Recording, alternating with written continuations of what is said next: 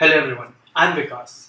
I'm the founder of a startup company AlgoSearch and team lead of Open Sim project.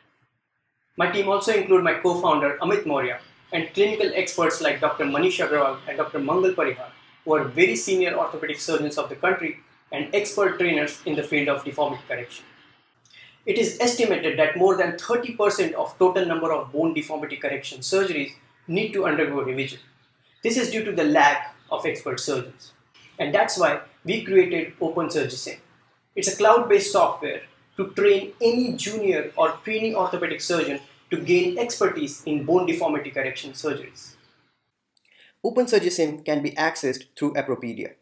A trainee will learn the basic principles of deformity corrections through reading material available at Appropedia.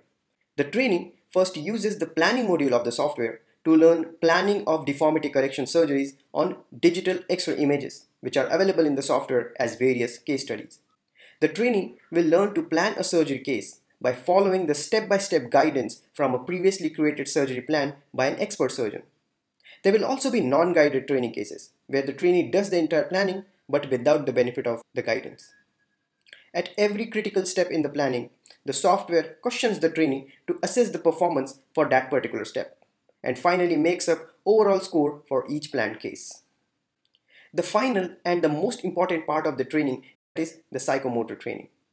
For this, the trainee uses a web camera, few clamps and fixtures, basic tools for drilling and cutting the bone models as well as an external fixator implant. The bone models will be assembled using the parts from a modular bone kit. The trainee then follows the instructions given by the software to perform various steps of the surgery the webcam of the training setup captures the training process and the software tracks the bones and tools. This object tracking is used to measure the errors in various steps like drilling, cutting, and final corrections to calculate the final score for each case.